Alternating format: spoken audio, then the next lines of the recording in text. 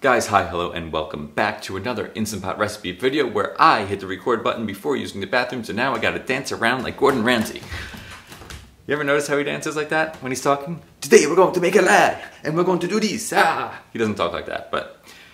Anyway, guys, hello and welcome to today's video. Today we're making an Instant Pot steamed sweet potato, and we are steaming it for a series of reasons which I will not get into because I have a YouTube correspondent standing by by the name of Alton Brown. Alton, Anything a white potato can do, a sweet potato can do. For instance, you can bake them in the oven just the way you would any uh, baking potato, just out on the rack.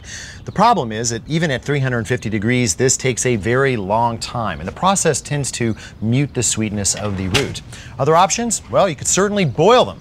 That's fast. Problem is, is that uh, since sweet potatoes lack the uh, waxy texture of uh, boiling potatoes, and since they are packed with water-loving sugars, they waterlog very easily. It's not good eats. The other option, of course, steaming. Not only is steaming convenient, it is fast, it is easy, it is predictable, and best of all, steam does not wash away either nutrients or flavors, which is a very good thing indeed. Thank you, Alton. And without further ado, let's learn how to make the Instant Pot steamed sweet potato, shall we? And we begin, of course, with our sweet potatoes. Karen? Karen, where are the sweet potatoes? Jeez, you guys are always late. This is why everyone chooses Idaho.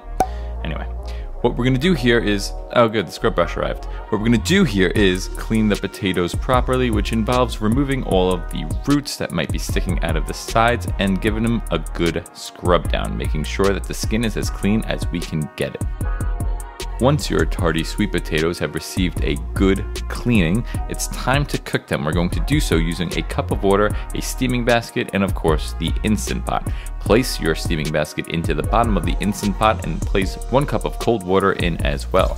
Next, you're going to stack the sweet potatoes inside the Instant Pot and place the cover on, making sure that the release valve is set to sealing. Now your cook time is going to depend on the size of your sweet potatoes. As you can see here, however, you're gonna wanna use the steam feature of the Instant Pot and not the pressure feature.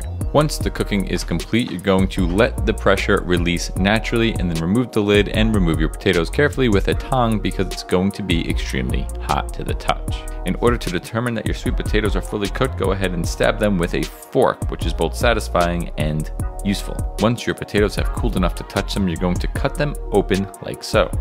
Now, since we steamed the sweet potatoes, we're keeping this recipe healthy by using plain Greek yogurt instead of sour cream and green onions to cut through the creaminess of the potato and yogurt. Go ahead and place a generous spoonful of plain Greek yogurt onto your sweet potato and cover with your green onions. And if you listen very carefully, you can hear the sound of desperation. That's Milton, my cat, who loves plain Greek yogurt. And if you haven't seen the video that I made already about Instant Pot plain Greek yogurt, I will put a link in the top right corner for you to check out. And guys, that's gonna do it for today's Instant Pot steamed sweet potato video. Guys, I hope you found this video useful and as always, I encourage you to add your own spices in order to make this recipe your very own. If there's anything else that you'd like me to do in the Instant Pot in the upcoming weeks, please let me know in the comments below. And as always, there's a link in the description to all the things that I think are gonna make this recipe a little bit easier for you to make at home. As always, keep busy, stay healthy, be happy, and I will see you in the next one.